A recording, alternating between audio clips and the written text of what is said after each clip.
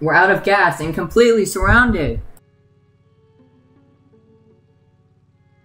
Looks like we'll have to go through the gallery.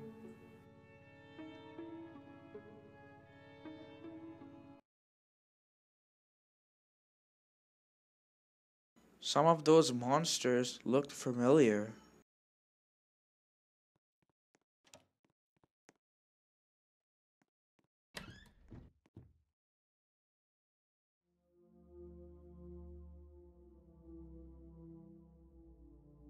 They just don't stop coming after us, do they? I don't get it, but hey, it's nothing we can't handle. After all, remember when we made that arrest in the alleyway before us?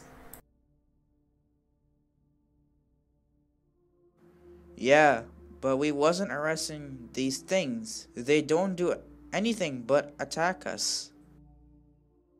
Listen, Official Orange Sonic, you're a good person. Even in desperate time, you held on to your morality. It's the people like you that succeed. As long as you stay who you are, you'll get to where you need to be.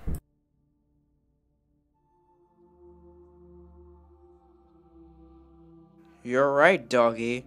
I cannot let the situation make me lose sight of who I am. Good, now let's find someplace safe. We'll have time to think of what to do. Sounds like a plan.